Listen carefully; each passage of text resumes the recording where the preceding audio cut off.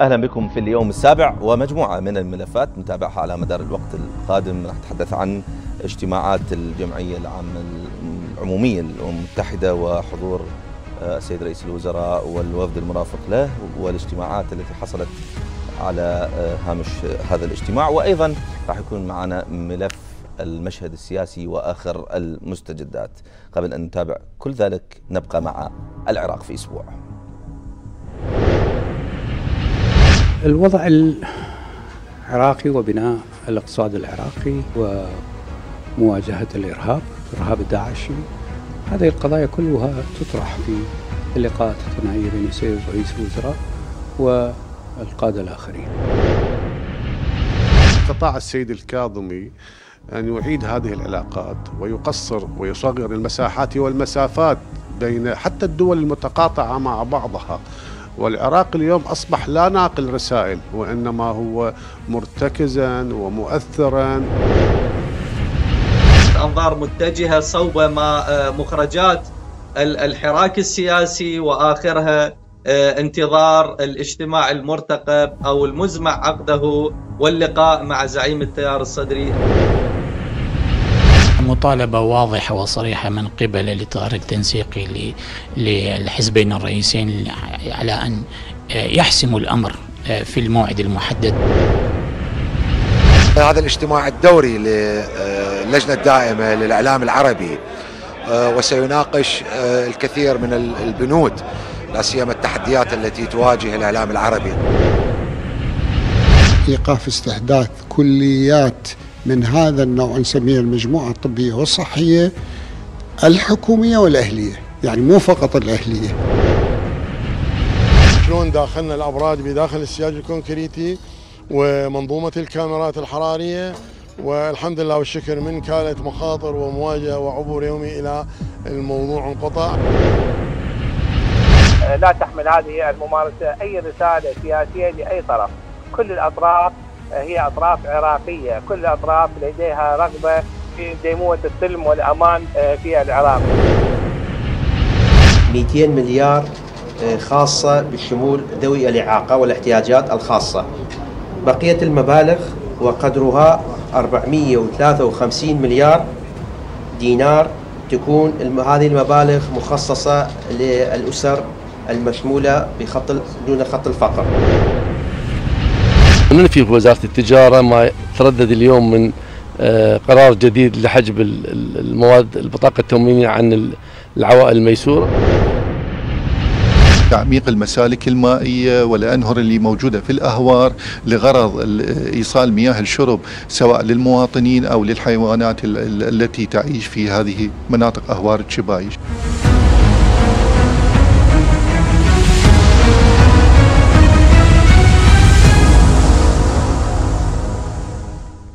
نبدأ من الملف الأول. حضور العراق الفاعل باجتماعات الجمعية العامة للأمم المتحدة بدورتها السابعة والسبعين والذي ظهر واضحا من خلال اللقاءات البينية التي أجراها رئيس الوزراء الأستاذ مصطفى الكاظمي مع مختلف قادة العالم. مراقبون أكدوا أن تلك اللقاءات ترجمت النجاحات الدبلوماسية العراقية على المستويين الإقليمي والدولي. هذا الملف وما يتعلق به. نفتحه مع مستشار رئيس الوزراء الدكتور حسين علاوي. أهلا ومرحبا. دكتور. قبل أن نبدأ بالحوار مع الدكتور علاوي ننتقل إلى واشنطن. معنا من هناك مراسلة العراقية الإخبارية زينة إبراهيم. أهلا ومرحبا زينة. وأسأل عن صدى حضور العراق في اجتماع الجمعية العامة للأمم المتحدة في دورتها السابعة والسبعين واللقاءات البينية التي أجراها السيد رئيس الوزراء وأيضا معالي وزير الخارجية مع عدة مسؤولين هناك. سرمد فعلا يعني هنا في نيويورك كانت اجتماعات خلال الأربعة أيام الماضية مكثفة مع العديد من دول العالم وبالإضافة إلى منظمات دولية أخرى. كان هنالك اجتماع مع الرئيس الأمريكي جو بايدن. اجتماع بين رئيس الوزراء والرئيس الأمريكي جو بايدن كان اجتماعا مهما. بالإضافة إلى الاجتماع مع أمين العام للأمم المتحدة سلسلة كبيرة من الاجتماعات. ولكن في الحقيقة تفصلنا ما يقارب الساعتين أو ثلاثة عن كلمة العراق أمام جمعية الجمعية العامة بدورتها السابعة والسبعين. هنالك ملفات كثيرة نتوقع أن يتناولها رئيس الوزراء في هذه الكلمة. يعني قد تبدأ الكلمة بدور العراق التاريخي في المنطقة ودور الذي يلعبه العراق حاليا بتقريب وجهات النظر بين الفرقاء. في المنطقة بالإضافة طبعا إلى الملف المهم الذي يشغل الكثير من وسائل الإعلام الغربية والقادة هنا في الأمم المتحدة وهو ملف محاربة الإرهاب ومحاربة داعش تحديدا. العراق كما تعلم قطع شوطا كبيرا في هذا المجال ولكنه يحتاج إلى دعم دولي في إعادة البناء وإعادة تأهيل المدن وإعادة النازحين. فسيتم طرح هذا أيضا في كلمة رئيس الوزراء. اذا بالإضافة إلى هذا فسيتحدث رئيس الوزراء وزراء عن الشأن الداخلي العراقي وعن الانسداد السياسي بعد أن نجح العراق بتحقيق انتخابات شهدت بنزاهتها معظم الدول بالإضافة إلى الأمم المتحدة. ولكن أكيد هنالك إخفاقات من السياسيين العراقيين بتشكيل حكومة. سيتطرق آه، بهذا رئيس الوزراء ويتحدث عن دور حكومته في محاولة إيجاد حلول آه، تجمع جميع الفرقاء السياسيين على طاولة حوار لتشكيل حكومة بأسرع وقت ممكن. بالأكيد هذه نقطة مهمة أيضا تقلق المجتمع الدولي الكثير من القادة الذي التقاهم رئيس الوزراء. كان لديهم قلق بهذا بهذا الملف تحديدا تشكيل الحكومة. من أجل أن تستقر المنطقة يجب أن يكون هناك استقرار سياسي عراقي. الاستقرار السياسي سينعكس على الاستقرار الاقتصادي أيضا. فبالتالي وبالتالي هذا أحد أهم النقاط التي أثيرت هنا آه، على هامش اجتماعات الجمعية العامة، أما فيما يخص الملفات الخارجية فنتوقع أن يتحدث رئيس الوزراء عن الحرب في أوكرانيا.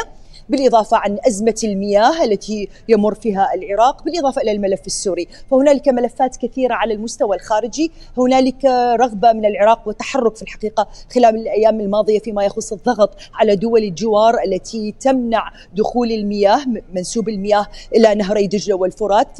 فهنالك رغبة من العراق بالتعاون مع المجتمع الدولي للضغط على هذه الدول وفق للقوانين الدولية لتحرير نسبة أكبر من المياه لتدخل إلى الأراضي العراقية. وهنالك أكيد أكيد الملف الأبرز وهو ملف الطاقة، كما تعلم انه العالم يواجه بسبب الحرب في أوكرانيا نقص في إمدادات الطاقة الدولية وهنالك دور مهم للعراق في هذا ويحاول العراق أن يستثمر هذه الفرصة لدعم المجتمع الدولي للاستثمار في الطاقة العراق وهنالك ترك في الطاقة العراقية وهنالك أكيد تركيز أيضا على الطاقة النظيفة و يعني الاستثمار من الغاز المصاحب لاستخراج النفط. فهنالك دور مهم أكيد. ثقل العراق يأتي من ثقله الاقتصادي الاقتصادي بالإضافة إلى السياسات الحكيمة بالتواصل ومد جسور مع دول الجوار. نعم زينب إبراهيم مراسلة العراقية الإخبارية من آه، واشنطن. شكرا جزيلا لانضمامك إلينا. أعود لضيفي في الاستوديو الدكتور حسين علاوي. دكتور الحضور الفاعل للعراق آه، في آه، مختلف المحافل الدولية وآخرها في الاجتماعات الجمعية العمومية للأمم المتحدة. إلى أي مدى يترجم هذا الحضور أه، أو يترجم فاعلية الأداء العراقي الخارجي على المستوى الخارجي أه، أم أن الأمر أيضا ما يقتصر فقط على الحضور وإنما التحركات التي يجريها أه، الوفد العراقي برئاسة السيد رئيس مجلس الوزراء؟ يعني مساء الخير عليكم ومساء الخير على المشاهدين الكرام. أستاذ سرمد أكيد هذه المشاركة والقيادة الفاعلة للوفد العراقي من قبل السيد رئيس الوزراء الأستاذ مصطفى الكاظمي آه، للمشاركة في اجتماعات الجمعية العامة للأمم المتحدة آه، تمثل آه، استكمالا لما نهجت به الحكومة العراقية خلال السنتين نعم. الماضيتين في إدارة ملف الشؤون الخارجية سواء بإعادة ترميم العلاقات العراقية العربية والبناء عليها وهذا ما سعت وزارة الخارجية العراقية تحويل آه، المنهاج الوزاري للسيد رئيس الوزراء إلى برنامج آه، حكومي وهذا البرنامج يرتكز على هذا المسار بالإضافة إلى الدائرة الإسلامية إن كانت مع آه، إيران وكذلك م. تركيا والباكستان وغيرها من الدول الأخرى وهذا ما لاحظناه هنالك دبلوماسية فاعلة للعراق في هذا المجال كذلك الانفتاح وتطوير العلاقات وتعزيزها في ملفات متعددة مع أوروبا مع الولايات المتحدة الأمريكية مع أستراليا مع دول أمريكا الشمالية وكذلك دول أمريكا اللاتينية وأفريقيا. وهذا ما نلاحظ أن هنالك انفتاح دبلوماسي كبير حقيقة للشؤون الخارجية العراقية وكذلك بالمقابل الهدف منه هو تعزيز ملفات أساسية تركز عليها الآن الحكومة وتعمل وزارة الخارجية العراقية من خلال سفاراتنا الممتدة للعمل عليها سواء في مجال مكافحة الإرهاب، أمن الطاقة، أمن الغذاء وكذلك البنى التحتية وتطويرها، نقل التكنولوجيا والاستثمارات والتنمية وتسويق حقيقة منجزات الجهاز الحكومي وهذا ما سيعمل عليه السيد رئيس الوزراء في كلمته حقيقة إن كان فيما يخص الإصلاح الاقتصادي أو الإصلاح الأمني أو الإصلاح الشامل وكذلك بالمقابل اهتمامات الحكومة العراقية والتزاماتها في قضايا التعليم والمرأة وكذلك الشباب وكذلك الاقتصاد الجديد الذي هو يرتكز على الاقتصاد الأخضر الذي يرتكز على الطاقة المتجددة والاستثمارات فيها وهذا ما سعى الجهاز الحكومي إلى تطوير اسم وزارة الكهرباء وكذلك مجال عمل وزارة الكهرباء واستثماراتها في هذا المجال، بالإضافة كذلك إلى عرض الفرص الاستثمارية من خلال النقاش الذي جرى من قبل السيد رئيس الوزراء مع ملوك وقادة ورؤساء وكذلك بالمقابل مدراء المؤسسات التنفيذية الخاصة بالاقتصاد والتنمية والإعمار إن كان البنك الدولي وصندوق النقد الدولي وغيرها من المنظمات بالإضافة للحوارات التي جرت كذلك مع حلف الناتو حول بناء القدرات العسكرية وتطوير كذلك الإمكانات الأمنية والاستخبارية في هذا المجال والعمل طويل الأمد. في مجال تطوير قدرات القوات المسلحة العراقية في إدارة مرحلة بناء السلام وكذلك بالمقابل علاقاتنا الممتدة والقويه مع الولايات المتحدة الأمريكية وكذلك علاقاتنا مع دول الخليج في مقدمتها المملكة العربية السعودية ولاحظنا اللقاء اللي حصل بين السيد وزير الخارجية العراقي وكذلك السيد وزير الخارجية السعودي وكذلك بالمقابل اللقاءات المكوكية التي أجراها السيد رئيس الوزراء مع القادة والملوك وكذلك بالمقابل إن كان مع الأردن إن كان كذلك مع دول عديدة آخرها رئيس الوزراء الأوكراني. وكذلك بالمقابل المسارات الأساسية التي الآن يركز عليها السيد رئيس الوزراء وهي قضية البنى التحتية والتكنولوجيا. وكذلك بالمقابل القدرة على تحريك الاقتصاد العراقي لاستثمار قطاع الطاقة نعم. والنقل والتجارة الدولية. وهذا ما يعمل عليه من خلال الملفات الإقليمية بالإضافة إلى مساعي العراق الحميدة في خفض التصعيد في المنطقة والحوارات الإقليمية التي طيب دكتور عفوا عن المقاطعة. السعودية وإيران. هل يمكن لهذه اللقاءات اللي أجريت أن تختصر وقت حسم ملفات عالقة؟ أكيد طبعا. يعني أنت لاحظ الجمود الذي كان في العلاقات يعني على الصعيد الإقليمي. الجمود اللي كان حاصل بالعلاقات السعودية الإيرانية، الآن العلاقات تقدمت تقدم كبير، الملف تحول من ملف قطع العلاقات وملف أمني إلى واستخبار إلى ملف سياسي وكذلك انفتاح في العلاقات وكذلك بالمقابل هذا الانفتاح انعكس على المنطقة إن كان في أزمة اليمن، في أزمة سوريا وغيرها من الأزمات الإقليمية الأخرى، وهذا بالتالي ما يجعل حقيقة هنالك فرصة للعراق من خلال مساعي الحميده ودوره الاقليمي الذي عاد وأصبح مقبولا أكثر من أي وقت مضى. سواء اقليميا أو دوليا وكذلك بالمقابل انعكاس ظلال هذا الموضوع وارتداداته الإيجابية على الأمن القومي العراقي إن كان على الجانب الاقتصادي أو على الجانب السياسي أو كذلك على الجانب الاجتماعي. وهذا ما حصل الآن حقيقة وهذا ما لاحظناه إنه الدولة الآن العراقية بدأت تتمتع بقدرة وحرية عمل جيدة وحركة فاعلة. هنالك الآن تشخيص معمق إلى المشاكل الخاصة بالبنى التحتية كان في قطاع الكهرباء وهنالك انفتاح ومساعدة واستماع حقيقي وتفاعل طبعا من قبل المملكة الأردنية الهاشمية مصر المملكة العربية السعودية إيران. وكذلك بالمقابل فيما يخص ندرة المياه هنالك عمل دولي لمساعدة العراق في هذا الموضوع لاستثمار يعني قرارات الجمعية العامة للأمم المتحدة. وكذلك بالمقابل قرارات قد تكون صادرة من مجلس الأمن بالإضافة إلى علاقاتنا مع دول تركيا وإيران في هذا الموضوع والحوارات المعمقة التي تجري في هذا المجال لأن ندرة المياه بدأت تؤثر على الواقع الاجتماعي والواقع كذلك الاقتصادي العراقي وهذا ما يتطلب تحسب وكذلك رؤية وعمل آه، من قبل الحكومة العراقية ومن قبل وزارة الخارجية العراقية ووزارة الموارد المائية وهذا طبعا ما يعمل عليه الآن السيد رئيس وزراء إن كان في اجتماعات الجمعية العامة للأمم المتحدة أو كذلك يمهد لحوارات معمقة خلال المرحلة المقبلة تعقد سواء في مؤتمرات آه، عراقية آه، داخل العراق أو كذلك المؤتمرات الإقليمية والدولية التي تشارك بها الوزارات القطاعية المسؤولة عن تنفيذ يعني سياسته في هذا المجال. دكتور الخبرة اللي امتلكها العراق في مجال مكافحة الإرهاب أو في الأمن بشكل عام، هل يمكن أن تهيئه للعب دور آه، إقليمي ودولي في الفترة المقبلة؟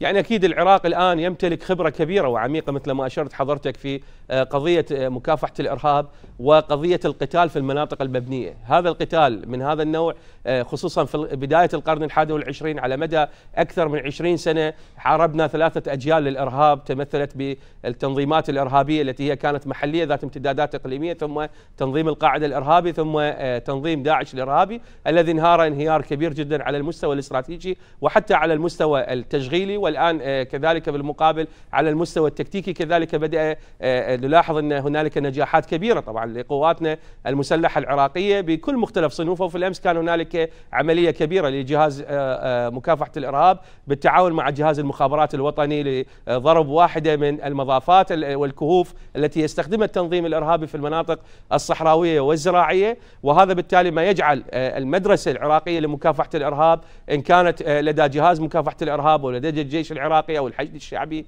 أو كذلك الأجهزة الاستخبارية والأمنية والشرطة الاتحادية هي مدرسة فعالة في هذا المجال. وبالتالي هنالك الآن تعاون مع التحالف الدولي مع الولايات المتحدة الأمريكية مع حلف الناتو وكذلك مع التحالف أو غرفة التنسيق الرباعية وغيرها كذلك من الفعاليات الإقليمية الأخرى التي بدأ يمتد العراق آه، آه، عليها باتجاه نقل الخبرات وتبادلها سواء مع دول الخليج وغيرها من الدول الأخرى. وبالتالي هذا التبادل وهذا التفاعل حقيقة يعطي صورة واضحة إلى أن العراق وقدرات العراق العسكرية آه، قد استعادت عافيتها. والآن نحن في مرحلة تنظيم هذه القوات المسلحة العراقية بعد القتال الكبير الذي حصل في المعارك الكبرى للتحرير والآن كذلك ننتقل إلى التفاعل مع العالم من خلال التدريب وبناء القدرات وتشارك المعلومات ومشاركة ضباطنا طبعا في الأكاديميات الدولية كان في الولايات المتحدة الأمريكية أو فرنسا أو أستراليا أو آه، كذلك بريطانيا وغيرها من الدول الأخرى وكذلك أوروبا. وهذا بالتالي ما يعطي فرصة كبيرة للتعاطي والتفاعل في هذا الملف. طيب آه، دكتور يعني على ذكر الملفات اللي تحدثنا عنها آه، كلها لكن بكل تأكيد لا يمكن العبور التحدي السياسي الداخلي.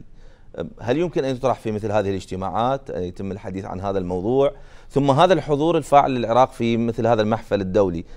يفترض أن يكون له انعكاس آه، داخلي وما يحقق العراق على الساحة السياسية الخارجية. بحسب حضراتكم بالعلوم السياسية آه، يفترض أن يكون هو انعكاس لنجاح السياسة الداخلية. اللي يحصل الآن العكس.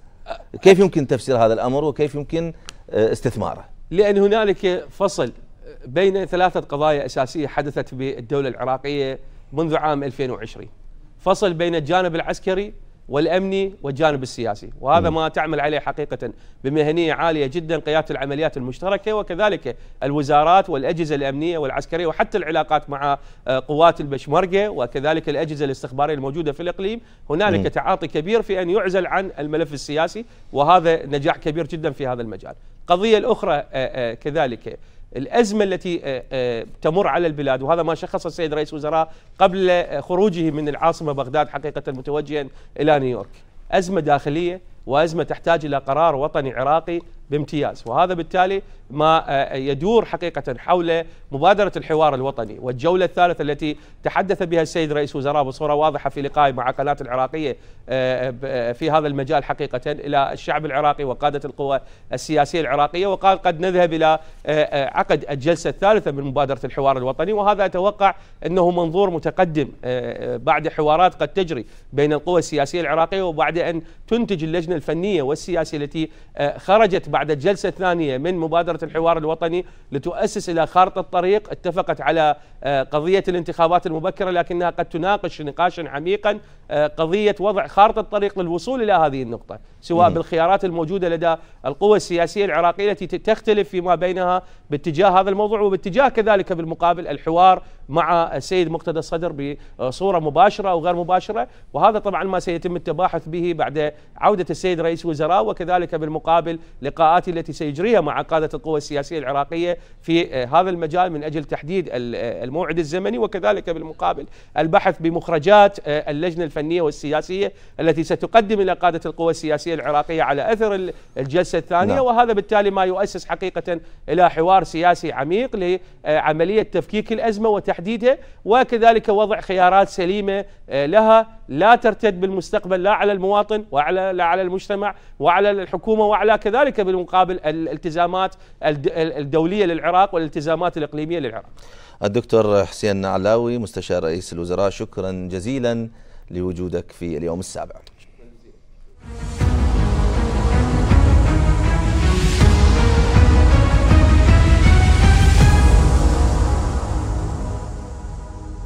إلى الملف الثاني. الانسداد السياسي كما يعبر عنه من قبل السياسي يقترب من عام كامل بالرغم من عديد المبادرات التي قدمت لحلحلة الأزمة. فلماذا لم تستطع الكتل السياسية من تجاوز خلافاتها؟ وهل هناك حاجة لتقديم تنازلات؟ ومن من؟ وماذا عن إمكانية عقد جلسة للبرلمان؟ هذا الملف وكل ما يتعلق به نناقشه مع أستاذ الإعلام الدكتور آه، غالب الدعمي والسيد عقيل الرديني عضو ائتلاف النصر لكن بعد أن نتابع هذا التقرير لحازم الشرع لا بديل عن تسوية وطنية. حيدر العبادي رئيس ائتلاف النصر يعاود تأكيد بنود مبادرته المنطلقة من موقعه في الإطار التنسيقي المنضوي ضمن صفوفه. حل الأزمة الراهنة عبر أزمة أخرى يجذر الأزمات في المشهد السياسي. إنها إشارة لاعتماد مقاربات سياسية لا تتجاهل دور التيار الصدري عبر الإصرار على تشكيل حكومة توافقية.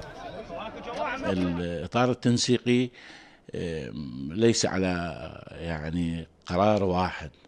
آه، هناك قرارات آه، يعني تخص يعني آه، يعني كتلة النصر يعني تغريدة السيد العبادي كانت واضحة جدا وغيرها من الأمور.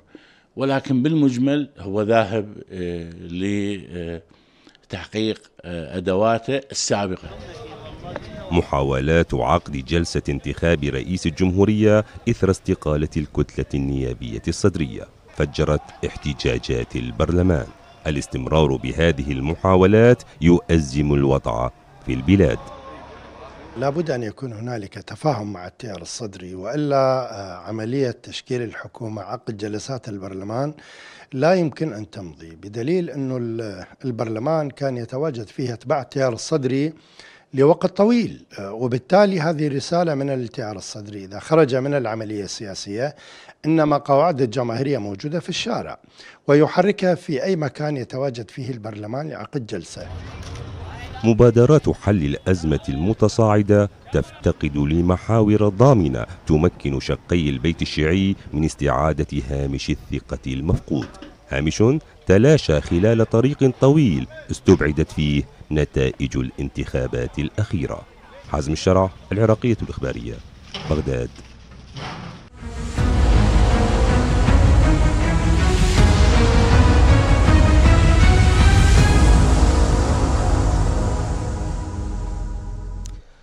أجدد الترحيب بضيوفي وأبدأ مع الأستاذ عقيل الرديني. أستاذ عقيل نقترب من مرور عام من آه، بدء أو انتهاء الانتخابات وبدء الأزمة السياسية. والجدير بالذكر أنه لحد الآن ماكو حلول آه، تلوح بالأفق وإنما آه، هناك نظرة أنه الأزمة ستستمر وربما يعني تتعقد أكثر من ما هي الآن. كيف تقرأ هذا الأمر؟ وإذا كان أكو حلول طرحت آه، ممكن أنه آه، حضرتك آه، تناقشها معنا. بسم الله الرحمن الرحيم. تحية لك أستاذ سلمان مشاهدي قناتكم ضيفكم العزيز دكتور غالب. صراحة يعني ما أنتجته العملية الانتخابية الأخيرة من نتائج يعني كانت غير مرضية لكثير من القوى السياسية. وثم صادقت المحكمة الاتحادية وسلمت للأمر الواقع أغلب القوى السياسية اللي كانت معترضة وبدأ الحوار. يعني أعتقد هذا أخذ كثير من الوقت في يعني من وقت تشكيل الحكومة وصار تجاوز هناك كثير على المدد الدستورية اللي حددها القانون لتشكيل الحكومة. ثم بدأ يعني موضوعين ظهرا للساحة السياسية موضوع الأغلبية وموضوع التوافقية. وإلى أن وصلنا إلى هذا صراحة إلى الطريق المسدود. آه، في كل هذه الحوارات والمحاولات وهذا المد... كان لدينا نحن مثلا في ائتلاف النصر الكثير من المبادرات الواقعية التي تعتمد الحل الواقعي والحقيقي للمخرج الحقيقي للأزمة السياسية، لكن أحيانا في كثير من ال... يعني أو كثير من الأحيان آه، يعني تفتقد هذه إلى آه، يعني مخرجات حقيقية ممكن أن آه، أو تخريجات حقيقية ممكن أن آه، تطفو إلى الساحة السياسية. الآن أعتقد ربما يعني في هذا الوقت بدأ الكثير يدرك ان ما يطرحه ائتلاف النصر من رؤية واقعية لحل الأزمة السياسية بات واقعيا وهنالك تجاوب الكثير من القوى السياسية سواء داخل الإطار أو خارج الإطار بهذا الاتجاه والتي تتحدث هذه التخريجة أن نذهب باتجاه انتخابات مبكرة حتى لا يشعر الطرف الآخر مثلا هو التيار الصدري اللي كان حاصل على 73 مقعد وهو الفائز الأول يعتبر أن يحس أنه أو يشعر أن آه، أنه هو مغلوب في هذه العملية اللي حدثت واكو أكو تجاوب؟ أستاذ عقيل أكو تجاوب أنا مع أعتقد هذا المبادره أنا أعتقد أكو تجاوب. يعني م. كانت مبادرة السيد رئيس الوزراء آه، رحبنا بها آه، يعني عندما أطلقت كانت قريبة. وأعتقد هنالك جلسة جديدة أيضا آه، يعني للحوار نعم. يعني ربما في الأيام القليلة القادمة وكذلك يعني ما طرحه السيد الحلبوسي أيضا كان قريب من بعض التوجهات اللي آه، طرح آه، يعني نذهب باتجاه انتخابات مبكرة، طرح آه، النظر بتعديل قانون الانتخابات وقانون المفوضية، هذه قريبة جدا من يعني تخريجاتنا لحل الأزمة السياسية الخانقة، طيب. بالتالي لا يمكن أن يعني أن يكون هنالك مثل ما الإطار بالبداية رفض أن يقصى من العملية السياسية، اليوم نحن في ائتلاف النصر أيضا نرفض إقصاء أي طرف. اليوم عندما يعني يصير إقصاء أو تهميش لطرف معين آه، أعتقد يعني لم يكتمل الحوار ولم تكتمل تشكيلة الحكومة بالشكل الصحيح، اليوم إحنا نريد ننتج دولة، نريد ننتج مؤسسات، نريد ننتج إصلاح، فإذا ما كان هنالك معارضة شديدة وتظاهرات وتحديات، أعتقد الدولة أو الحكومة ما راح تؤدي المهام الصعبة في هذه المرحلة الملقاه عليها في ظل هذه طيب. الظروف وهذه التحديات. خلينا نسأل دكتور غالب بهذا الخصوص، دكتور يعني بعد وصولنا لهذه المرحلة أكو أخبار تقول إنه سيكون هناك وفد آه، يذهب إلى الحنانة للقاء سماحة السيد مقتدى الصدر من أجل الوصول إلى حال أو لطرح مبادرة آه، هذا يجري وهناك أيضا تحذيرات لتظاهرات أعلنت عنها اللجنة المركزية المنظمة لتظاهرات تشرين. أكو ترقب أكو توتر حقيقة ماكو رؤية واضحة إنه شنو راح يكون الحل وشنو راح يكون عليه الوضع بعد أيام من الآن. أه، قراءتك لما يجري والسيناريو الأقبل أو عفوا الأقرب أه، للقبول. سعدتم مساء أستاذ سرمد وأستاذ عقيل الرديني وجمهور قناة العراقية الغضاء يعني للآن الوضع شائك. طبعا ما نسمعه أحيانا بعيد عن الحقيقة. ولكن أن تقول لي أحيانا نسمع أن هناك شد وجذب أو هناك تشدد وهناك آه، عدم رغبة في حل المشكلة نعم بعض الأطراف تفعل هكذا ولكن جهود حثيثة أخرى آه، يعني آه، كبيرة من أجل حل هذا الإشكال وتقريب وجهات النظر على مستوى العراق لأنهم يدركون في ظل هذه الأوضاع الدولية إن الأمور قد تفلت في العراق وتكون نتائجها أكثر بكثير من الذهاب للتيار الصدري بمعنى إن الذهاب للتيار الصدري هو أقل هو آه، لن يكون فيه خسائر كثيرة ابدا حتى لو أن تنازلت بعض الجهات ولكنها لحساب المصلحة الوطنية. لكن المشكلة الرئيس عندنا في العراق للأسف الشديد نحن نبحث في الأعراض ولا نبحث في السبب الذي أدى إلى هذه المشكل وللآن الطبقة السياسية ربما أكاد أقول أجمع إنها إنهم في الغالب يتحدثون عن تشكيل حكومة يتحدثون عن الحصول على وزارات يتحدثون عن تنمية أحزابهم لكن لم يتحدثوا عن تنمية الشعب. ولو اتجهوا باتجاه حل مشكلات الشعب أنا على يقين إن هذه كل هالمشكلات هذه أعراض أعراض لإغفالهم قضايا المجتمع. لا دكتور فيما يخص دكتور ربما حتى نكون يعني واقعيين بالطرح. إحنا عندنا مشكلة بنيوية ما عندنا خط نمشي عليه سياق وهذا يعرف اللي إله وهذا يعرف اللي عليه. وعلى سبيل المثال هو موضوع الخروقات الدستورية. اللي موجودة بالدستور لكن ما إلها أي آه، عقوبة أو أثر يترتب على حصول خرق دستوري. لو هذا كان موجود كان كل طرف يعرف اللي إله واللي عليه ونتيجة عدم آه، الالتزام بالمدد الدستورية راح يحصل كذا. هذا هو السبب الرئيسي. لا وإحنا لماذا؟ هذا إذا ما يحل تعتقد أي حل آخر هو مو حل لا تقطيعي لا هو هو لماذا ننتظر أن نضع جزاء في الدستور لمن يخرقه؟ هو الدستور خرق في كل دورة انتخابية يخرق حتى في تطبيقه يخرق في في تفسيره من قبل الساسة يخرق. إذا الطبقة السياسية غير مستعدة أن تجعل الدستور سليما آه، من قبلهم. لكن دعنا نتحدث في ما يجري الآن في ظل هذه التوافقات. ربما هناك زيارة مرتقبة ربما للسيدة بلاسخارت الحنانة قد قد تسبق زيارة الثلاثي وإن كانت للآن لم تؤكد أو لم آه، يصدر تأكيد على زيارة البارتي والسيادة وأحد أطراف الإطار إلى الحنانة. هذه لحد الآن لم يتم تأكيدها لكن الأقوى منها قد تكون هناك زيارة للسيدة بلاس خار تسبقها باتجاه حلحلة الأمر وربما نقل ما كان أكو زيارة سابقة وما حلحلت الأمر. الظرف الآن اختلف كثيرا. يعني إحنا ما يمكن أن ننسى يوم 29 الأسود أنا أسميه أسود لأن فقدنا فيه الشباب بعمر الورد وهم بالنتيجة بغض النظر عن أعمارهم من الشعب العراقي. فلا يجب أن يصل العراق في أي يوم ما إلى هذا الذي حدث يوم 29 إلا إذا كان هناك من يرغب هذا بحث آخر. سيل عنه الله والتاريخ والشعب إلا أنه نحن بشكل وبآخر. كمراقبين كمواطنين.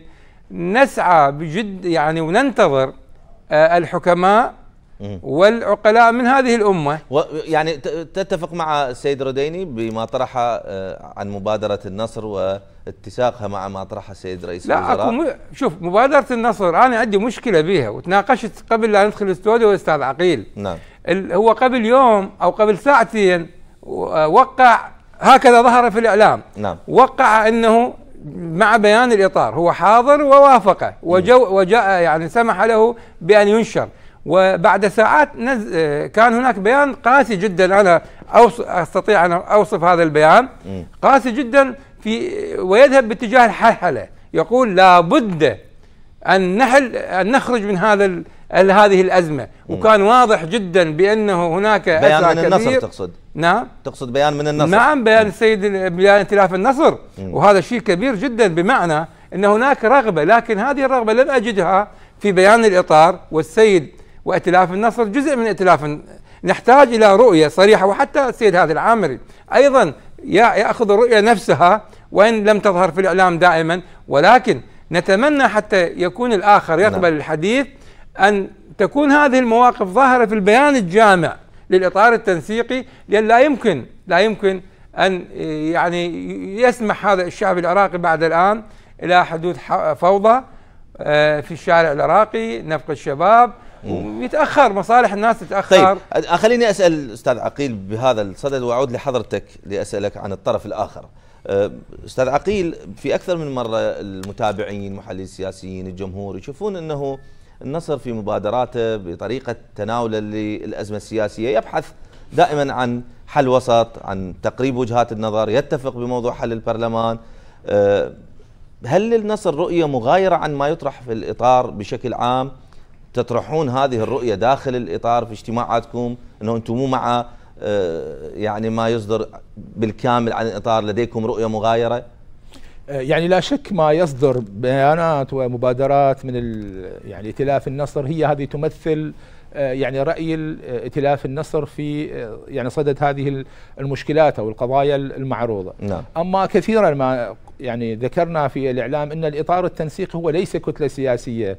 وليس كتلة سياسية واحدة موحدة ولديها نظام داخلي وإنما مجموعة من القوى السياسية وحتى الأخوة في التيار الصدري كانوا منضوين ضمن يعني هذا الإطار أو تحت يعني قبة هذا الإطار وبالتالي في الإطار مجموعة من المواقف ربما كل يعني جهة سياسية لديها موقف معين. لكن البيانات يتم صياغتها بطريقة تنسيقية بهذا الصدد أو بهذه الطريقة التي تخرج للإعلام. أما الموقف الرسمي لائتلاف النصر هو ما يظهر من مبادراتنا ومن يعني بياناتنا اللي تدعو إلى حلحلة الأزمة وعدم خلق أزمات وعدم شعور الآخرين بالغالب والمغلوب. ويجب أن نمرر يعني العملية السياسية الآن الحاضرة وفق سلتين، السلة الأولى أن نتفق على بشكل جماعي حتى وإن لم يشترك الأخوة اكو أكو أطراف بالإطار رافضة لموضوع إعادة الانتخابات أو حل البرلمان ما زالت لحد الآن؟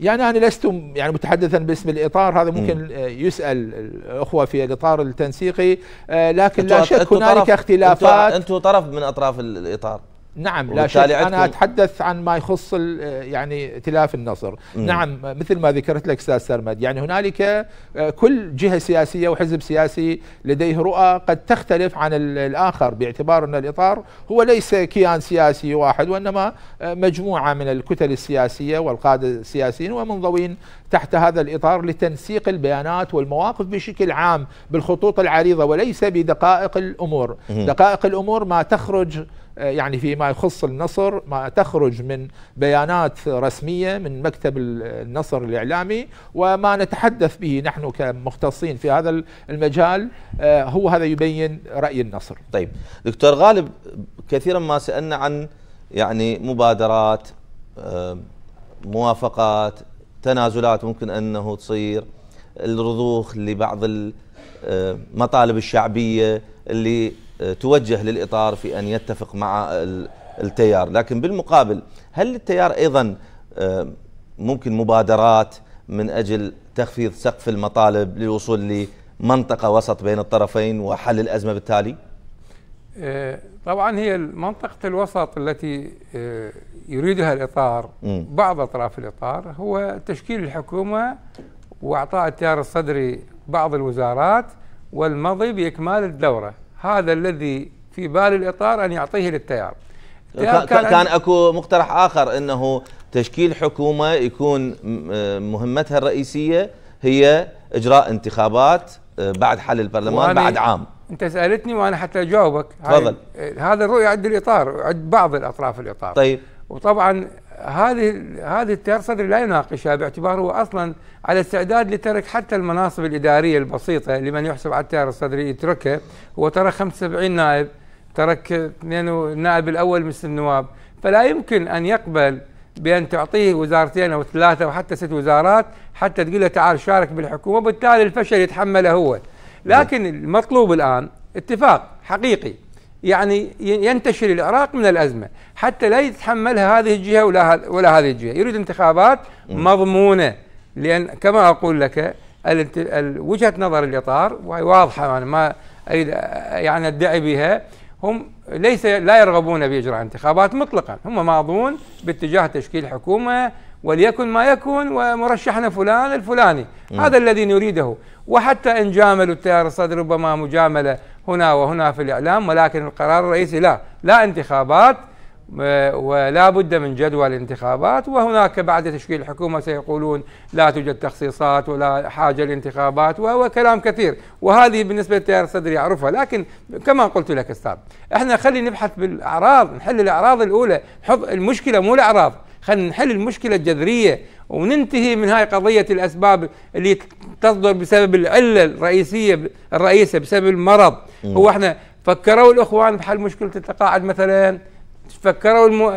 الأخوة جميعا طبعا. دكتور هذا تتكلم عنهن تحلها حكومة عندها منهاج عمل تقدمه وتحاسب عليه من قبل مجلس النواب اللي يعقد جلساته بشكل منتظم.